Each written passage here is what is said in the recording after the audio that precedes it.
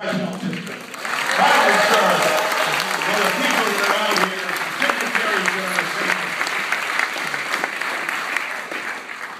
is uh, a noble quality, public life.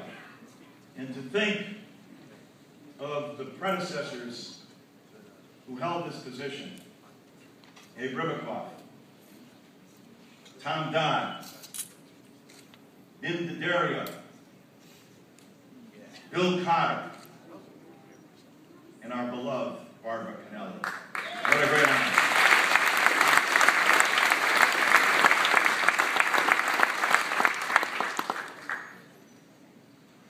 I'm also glad that uh, my brother had an opportunity. We've tried to make this part of a tradition here uh, at our conventions to recognize leaders in our communities who have made extraordinary contributions.